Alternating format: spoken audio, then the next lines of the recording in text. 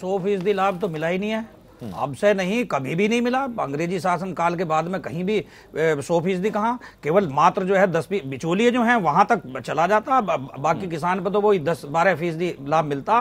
किसी भी योजना का किसान के हित की कोई भी योजना हो लगभग मेरे हिसाब से जो है दस या पंद्रह परसेंट जो है किसान को लाभ मिलता सरकारी योजना एक और योजना लागू की गई थी मैकेनिज्म व्यवस्था लागू की गई थी ई नाम पोर्टल के ज़रिए कि ई नाम के ज़रिए आप सब कुछ अगर आपको बेचना है खुद को रजिस्टर कराना है गवर्नमेंट की योजनाओं का फ़ायदा लेना है तो आप ई नाम के द्वारा उस पर रजिस्टर करके आप कंप्यूटर से ही सारी चीज़ें कर सकते हैं। लेकिन उसमें समस्या बड़ी ये दिखी हम लोगों को बाकी समस्या है कि नहीं ये आप बताइएगा कि ज़्यादातर किसान ऐसे होते हैं कि बहुत ज़्यादा पढ़े लिखे नहीं है या जो पढ़े लिखे हैं भी वो टेक्नोलॉजी से उतना फ्रेंडली नहीं है टेक्नोलॉजी में उतना वो आ, उनका हाथ उतना सधा हुआ नहीं है।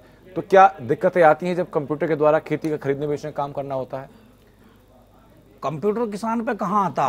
किसान इतना पढ़ा उसके पैसे ही नहीं होते। किसान के बच्चे पढ़ते ही कहाँ हैं? थोड़े बहुत बच्चे पढ़ रहे हैं बाकी जो बुज़ुर्ग किसान हैं उन पर तो अभी तो इसमें अभी जो है कुछ भी आगे को वर्तमान में क्या हो? बच्चे पढ़े लिखेंगे कंप्यूटर पे आएँगे। बाकी अभी जो है अभी वर्तमान में जो है लगभग साठ सत्तर परसेंट जो है किसान है बिल्कुल जो है पढ़ा लिखा नहीं पोर्टल के बारे में किसानों को जानकारी है? नहीं जी कोई जानकारी मुझे ही नहीं है जानकारी। हाँ। कोई जानकारी नहीं है। हाँ। बिल्कुल। है ही नहीं बाकी एक जो है उसकी जानकारी है जो इन्होंने ऑनलाइन पर्चियाँ हाँ। आऊँगा हाँ। जो इनकी उपलब्धियाँ उन्हें भी गिनाऊँगा क्योंकि हम्म। मैं किसी पार्टी का बंधवा मजदूर नहीं हम्म। मैं तो देश का बंधवा मजदूर हूँ बिल्कुल हम्म। इनकी एक उपलब्धि किसान के हित में ये रही है इन्होंने ऑनलाइन जो हमारी जो गन्ने की पर्ची है वो जो है ऑनलाइन कर दिए हैं। तो किसान को उससे ये हो जाता है कि भाई तेरी फला तारीख में पर्ची आएगी।